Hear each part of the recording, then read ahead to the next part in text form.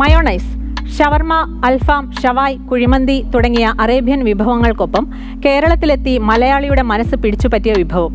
New gen റെസ്റ്റോറന്റുകളിലെ തീന്മേശയിലും parcel കവറുകളിലും എത്തുന്ന ഈ വിഭവം യുവാക്കളും ചെറിയ കുട്ടികളും ഇഷ്ടത്തോടെ വാരിക്കഴിക്കും ഇപ്പോൾ മയണൈസ് വില്ലനാണ്. പ്രശ്നം മയണൈസ് അല്ല. നമ്മൾ ഈ വിഭവത്തെ കൈകാര്യം ചെയ്യുന്ന രീതിക്കാണ്.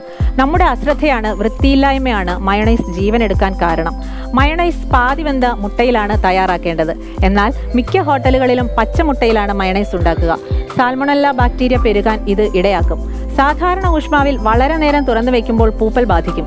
സാധാരണ താപനിലയിൽ രണ്ട് മണിക്കൂർ മാത്രം ആയുസ്സുള്ള മയണൈസ് പന്ത്രണ്ട് മണിക്കൂറിലേറെ തുറന്ന സ്ഥലത്ത് സൂക്ഷിക്കുന്ന ഹോട്ടലുകൾ നമ്മുടെ നാട്ടിലുണ്ട്. വേവിക്കാത്ത മുട്ട എണ്ണ വെളുത്തുള്ളി ഉപ്പ് തുടങ്ങിയവ ഉപയോഗിച്ചാണ് മയണൈസ് തയ്യാറാക്കുന്നത്. പരസ്പരം ലയിക്കാത്ത എണ്ണയെയും മുട്ടയെയും ഘട്ടം ഘട്ടമായി മിക്സിയിൽ അടിച്ച് സംയോജിപ്പിക്കുന്നു. ഫ്രിഡ്ജിൽ സൂക്ഷിക്കുകയും ആവശ്യത്തിന് മാത്രം പുറത്തെടുക്കുകയും പുറത്തെടുത്താൽ വൈകാതെ തന്നെ ഫ്രിഡ്ജിലേക്ക് തിരിച്ചു വയ്ക്കുകയും വേണം. പക്ഷേ ഷവർമയടക്കമുള്ള അറേബ്യൻ വിഭവങ്ങൾക്ക് ആവശ്യക്കാരേറിയതോടെ മയണൈസിന്റെ ആരോഗ്യം സംരക്ഷിക്കാൻ ഹോട്ടലുകാർക്ക് സമയമില്ലാതായി. ഇതോടെ മയണൈസ് തനിനിറം കാണിച്ചും തുടങ്ങി. വീടുകളിൽ വൃത്തിയോടെ ഉണ്ടാക്കുന്ന മയണൈസ് ആണെങ്കിൽ കൂടി പന്ത്രണ്ട് മണിക്കൂറിൽ കൂടുതൽ സൂക്ഷിക്കരുത്.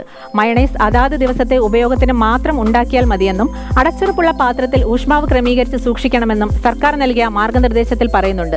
പക്ഷേ ഇത് പാലിക്കുന്നുണ്ടോ എന്ന് നോക്കാൻ സർക്കാർ മറന്നുപോയെന്ന് മാത്രം. ഷവർമയ്ക്കും അൽഫാമിനുമൊക്കെ ഫ്രിഡ്ജിൽ ദിവസങ്ങളോളം സൂക്ഷിച്ച ഇറച്ചി വേവിക്കാതെ ഉപയോഗിക്കുന്നത് ഭക്ഷ്യവിഷബാധയ്ക്ക് കാരണമാകുമെന്നത് നേരാണ്. പക്ഷേ ഇറച്ചിയെ കുറ്റം പറയുന്ന നമ്മൾ മറന്നുപോകുന്നു മയണൈസ് എന്ന സൗമ്യനായ വില്ലനെ.